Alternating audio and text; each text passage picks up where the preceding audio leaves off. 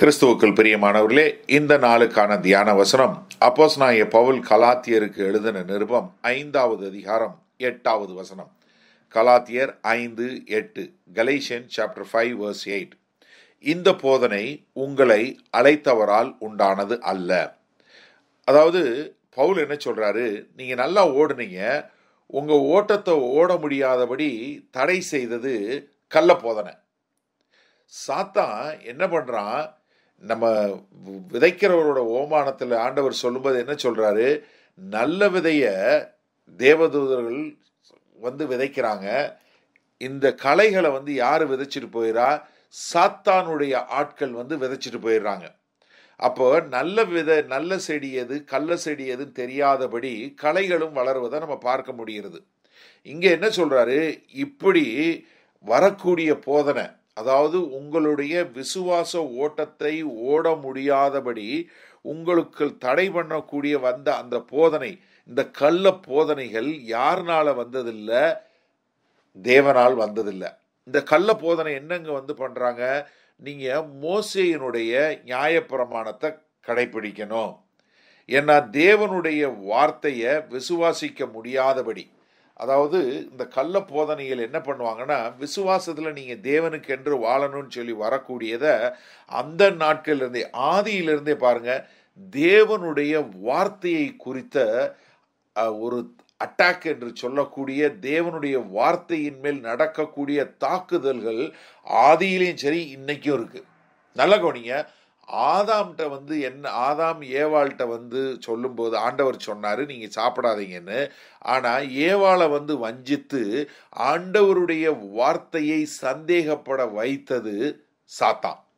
அதே சாத்தான் ஆண்டவராகிய இயேசு கிறிஸ்து பூமியில மனுஷகுமாரனாய் இருக்கும்போது மத்திய நான்காவது அதிகாரம் நான்கிலிருந்து பத்து வரை உள்ள வசனங்கள் நீங்கள் எடுத்து வாசித்து பாருங்க. மூன்று முறையும் சாத்தா ஆண்டவற்றை வந்து தேவனுடைய வார்த்தையை திரித்து கூறி தேவனுடைய வார்த்தையில் பாதியை மட்டும் சொல்லி அங்க ஆண்டவரை வஞ்சிக்கக்கூடிய காரியத்தை பார்க்கிறோம். அப்போ என்னன்னா தேவனுடைய வார்த்தைக்கு மேல் தாக்குதலை உண்டாக்கக்கூடிய காரியம் சாத்தான் தானாகவோ அல்லது தன்னுடைய தூதர்கள் என்று அழைக்கக்கூடிய கள்ள போதகர்களை கொண்டு இன்றைக்கும் சபைகளுக்குள்ள இப்படிப்பட்ட காரியங்கள் நடந்து கொண்டு தான் இருக்கு. இதுதான் கலாத்திய சபையில் நடந்தது. கலாத்திய சபையில் கள்ள போதனைகளை கொண்டு வந்து அவர்களை ஓட முடியாதபடி செய்தான். இன்றைக்கு இந்த செய்தியை கேட்டுக்கொண்டு இருக்கிற உங்களை ஓட முடியாதபடி செய்யக்கூடிய கள்ள போதனைகள் என்ன? அதாவது என்னன்னா தேவனுடைய நாம மகிமை இல்லாதபடி உங்களை அழைத்தவருடைய போதனை இல்லாதபடி உங்களை சோதிக்கக்கூடிய காரியங்கள் உண்டாகும். இது நல்லா பாருங்க. தேவன்கிட்ட இருந்து வரக்கூடிய போதனை உங்களுக்கு விடுதலையை கொடுக்கும். ஆனால் மற்றவர்கள்ட்ட இருந்து கள்ள போதனை என்ன கொடுக்கும்? உங்களுக்கு கட்டுகளை கொடுக்கும். நீங்கள் இதை செய்யக்கூடாது இப்படி சாப்பிடக்கூடாது இப்படி ஆராதிக்க கூடாது இப்படி இது பண்ணக்கூடாது நீங்கள் இப்படி பண்ணக்கூடாதுன்னு சொல்லி உங்களுக்குள்ளே வந்து கட்டுகளுக்குள்ளே கொண்டு வந்தாங்கன்னா அது கள்ள போதனை. ரெண்டாவது உங்களை நீதிமானாக்குவது விசுவாசம். ஆனால் அங்கே வந்து என்ன சொல்லுவாங்க? நீங்கள் ஆண்டவருக்கு பிரியமாக இருக்கணும்னா காணிக்க கொடுக்கணும். நீங்கள் இதை செஞ்சாதான் ஆண்டவர் பிரியப்படுவார். முதல்ல ஆண்டவருக்கு வந்து காணிக்க கொடு முதல்ல இதை கொடு அதை கொடுன்னு சொல்லக்கூடிய ஒரு காரியம். மூன்றாவதாக என்ன? தன்னைத்தானே வெறுத்து சிலுவை எடுத்து தேவனை பின்பற்று வரும்போது தேவன் மகிமைப்படுவார். ஆனால் இங்கே என்ன சொல்லுவாங்க? உனக்கு என்ன வேணும்? இயேசு கொடுப்பாரு. எப்படி? உனக்கு வீடு வேணுமா? ஏசு கொடுப்பாரு. உனக்கு கார் வேணுமா? ஏசு கொடுப்பாரு. உனக்கு வேலை வேணுமா? ஏசு கொடுப்பாரு.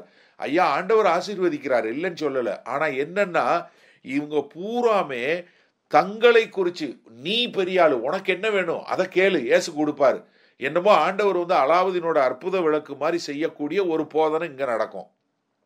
மூன்றாவது நான்காவதாக தேவன் வந்து அவருக்கு சார்ந்தவர்களாய் அவருக்கு மகிமை செலுத்துகிறவங்களா தன்னிடத்தில் அவர் இழத்துக்கொள்வார் ஆனால் இந்த கள்ள போதனையில் என்ன பண்ணுனா உலகத்தை சார்ந்தவர்களாய் உலகத்தை நோக்கி இழுக்கக்கூடியதா. அப்போ இந்த நான்கு காரியத்தில் வச்சு உங்களை சோதிச்சு பாருங்க.